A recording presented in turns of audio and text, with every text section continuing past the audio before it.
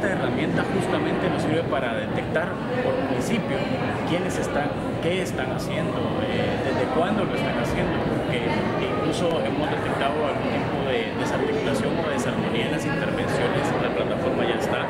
El espacio cibernético era el que necesitábamos, pero eh, un agradecimiento desde ya a la, Universidad de Duke de Estados Unidos, a, a a, Fundegua, eh, por este proyecto que se llama Conectate realmente nos da visualmente quiénes son los que están y también tenemos una tabla dinámica con toda la información que, que se puede dar.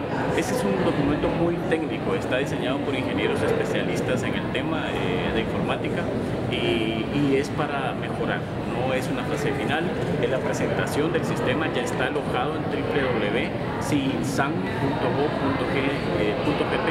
Eh, hay algunos municipios donde hay muchas organizaciones y hay otros donde hay poco o nada de presencia, ¿verdad? Hablando de organizaciones no gubernamentales. Por eso, eh, si no tenemos una herramienta como estas, no podríamos tener este tipo de, conversación, ¿verdad? Porque no sabemos siquiera, en este momento ni siquiera sabemos cuántas organizaciones eh, hay en total en Guatemala invirtiendo en seguridad alimentaria, ¿verdad?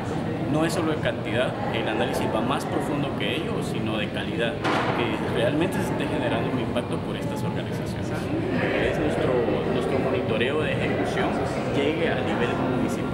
Esto como una herramienta que le sirva a, los tomadores de decisión, a los alcaldes, a las comusanes, que el día de hoy tenemos un 98% de cobertura en el país, gracias a Dios. Eh, la sociedad civil tiene espacios en el CONASAN.